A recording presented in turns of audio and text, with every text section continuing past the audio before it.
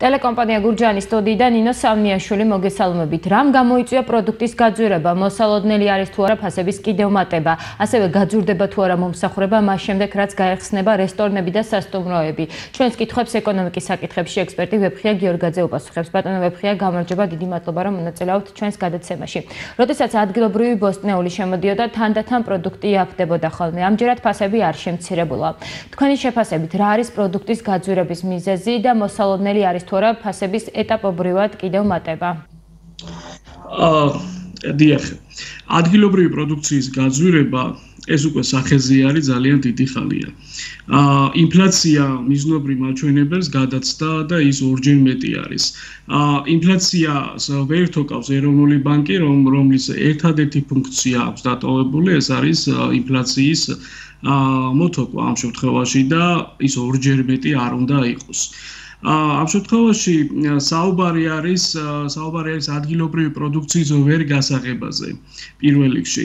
აა კორონავირუსიდან გამომდინარე მთავრობამ დააგვიანა ყოველგვარი მენეჯმენტი.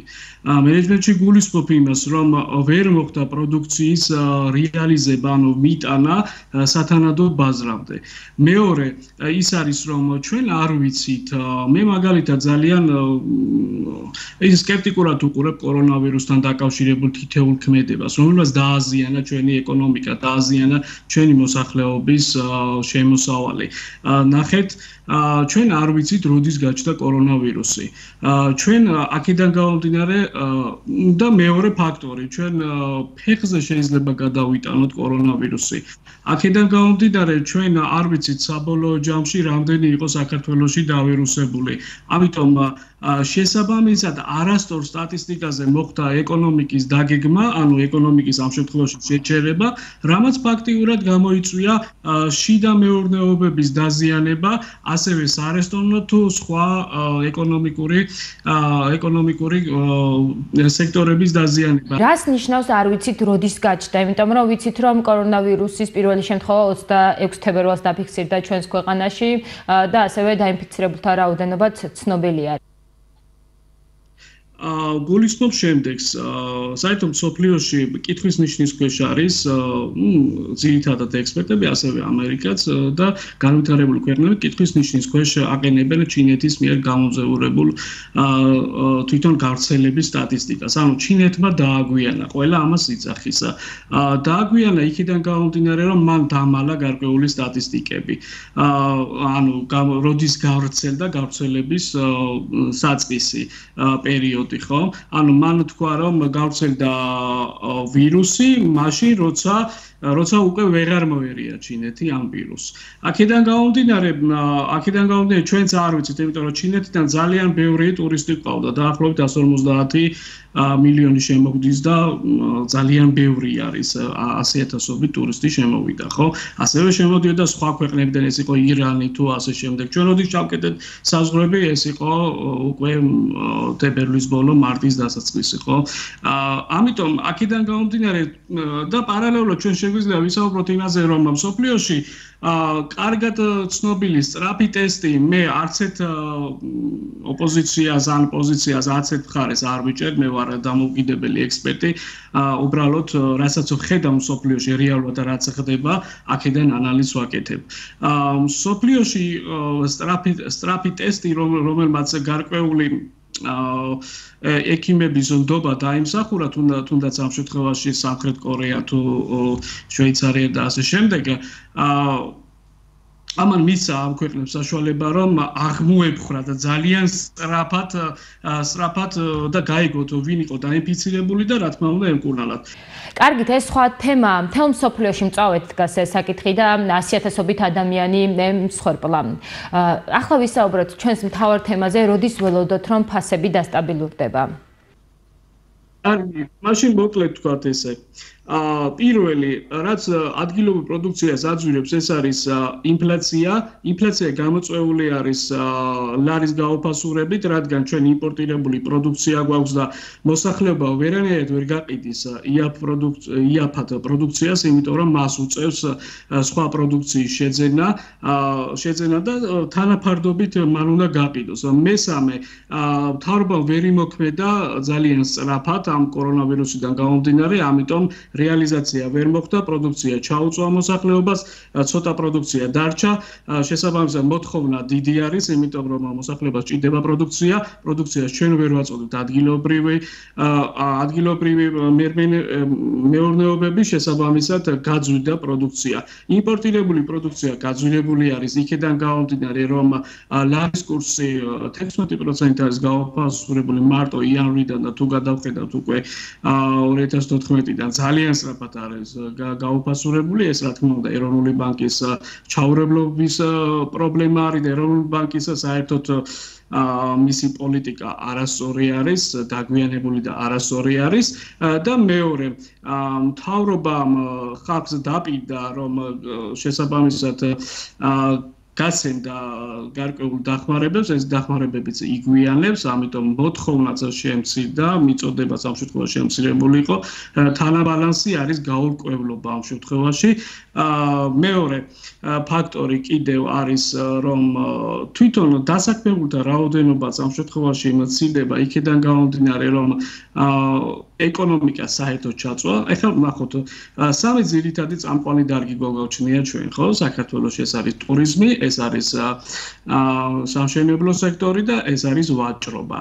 ნუ ენერგეტიკულ სექტორის რა თქმა უნდა, მასაც შეუმცირდა, იქიდან გამომდინარე რომ მოთხოვნა შემცირდა, დოლარების შემოდინება შემცირდა, ლარის გაოფასურებაზე ამან იმოქმედა, შესაბამისად იმოქმედა ასევე სხვადასხვა ფაქტორებმა, თუნდაც ტურიზმის განვითარება, აქ სარესტორნო ქსელია და სარესტორნო ქსელს გააჩნია გააჩნია ასევე ტურიზმს გააჩნია სხვა ანუ მიბულია რესტორანი ასევე მიბულია სხვა ძირითადი კლასტერები რომელშიც დასაქმებულია თუნდაც სოფლის მეურნეობა, ამ შემთხვევაში შემცირდა სოფლის მეურნეობის მიმართ მოთხოვნა. ამ ყველაფერმა შეამცირა თვითონ საერთოდ შემოდინებები დოლარის, ადგილობრივი დასაქმებები, ასევე შემცირებული არის შემოდინება ვალუტის ჩვენი ჩვენი ემიგრანტების მიერ ინვესტიციების შემცირებულია ეს ყველაფერი აწובה ლარის კურსს. ლარის კურსის გაუფასურება ძალიან მარტივად იწვევს პროდუქციის გაძვირებას ბატონო ვეფხე მას შემდეგ რაც პანდემიის პირობებში დაკეტილი ობიექტები გაიხსნა სილამაზის სალონების სტომატოლოგიური კლინიკები მომსახურება თითქმის ყველგან გაძვირდა ფიქრობთ რომ ეს ტენდენცია კვლავ გაგრძელდება იმიტომ რომ ახლა მალე რესტორნები და სასტუმროებიც უნდა გაიხსნას. გაწვდება იქიდან გამომდინარე რომ ეს დაკეტილი ობიექტები ობიექტები იხდინენ გარკვეულ გადასახადს ხო? რა თქმა უნდა მთავრობამ გარკვეული მიმართულებით დაეხმარა მაგრამ ეს გადასახადები დაგროვდა. ჩვენ კარგად ვიცით, რომ სამი თვით გადაიწია გარკვეული გადასახადი და გარკვეულ პროცენტში შევიდა მთავრობა, რა თქმა უნდა, დაეხმარა. ხო? მაგრამ ეს არ არის საკმარისი. ეს ბიზნესები რომ არ გაკოტრდეს, მათმა გარკვეული გადასახადები უნდა გაზარდოს. რომ შესაბამისად დაუბრუნდნენ თავიანთ იმ მდგომარეობას, რა მდგომარეობას დაიწყო, ხო, კორონავირუსის პერიოდში. ამიტომ მეორე ფაქტორი, რაც მთავარი არის თვითონ პროდუქციაზე და მომსახურებაზე, მომსახურება ამ შემთხვევაში იყო გაიაფებული იქიდან გამომდინარე, რომ ჩვენ ყავდა ტურისტები. ხო 9 მილიონზე მეტი ტურისტი შემოვიდა. ისინი გარკვეულწილად მოიხმარდნენ ამ პროდუქციას. ანუ აქ არის მასშტაბის ეფექტზე, რაც უფრო დიდი მასშტაბი აქვს საერთოდ ბიზნეს. ამ შემთხვევაში ფასიც კი დაბალია. მე მესამე ფაქტორი ის არის, რომ კონკურენცია აა უკვე დადაბლდა იქიდან გამომდინარე რომ ბევრი ბიზნესი გაკოტრდა.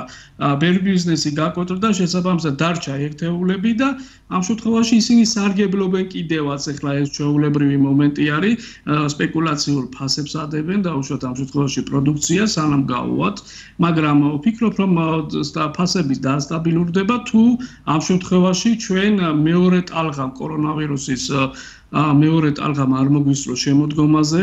გასაგებია და ბოლოს დამაიმედებელ პროგნოზ თუ გააკეთებთ ფასები როდის დაიკლებს პროდუქცია? ა დამაიმედებელი ერთი არის თუ მთავრობა ისევ არ გააგრძელებს იმ დანაპირების არ შესრულებას, რაც თქვა თუნდაც სოფლის მეურნეობის დახმარების კუთხით, ჯერ კიდევ არ არის ალბათ გვიან ამას ახლა სპეციალური ექსპერტები ჭირდება თვითონ მოხმასთან დაკავშირებით, დათესვასთან დაკავშირებით და ასე შემდეგ, რომ სოფლი იმაში შემოდგომაზე მაინც მივიღოთ პროდუქცია, რომ გარკვეული ჩვენი თვითონ პროდუქცია გქონდეს და რა თქმა უნდა ზოგი პროდუქცია ძალიან მართ რამდენიმე თვეში შემოდის და ზაფხულისთვის აგვიხმარება. აა კარგი არის რომ გაიხსნა საზღვრები და იხსნება საზღვრები და ეკონომიკა იხსნება. ეს მიუთითებს იმაზე რომ ჩვენ მეტი ტურისტი გვეყოლება. ძალიან ცუდია რომ ტურიზმზე ვარ დამოკიდებული, მაგრამ ჩვენი ეკონომიკა ესე არის.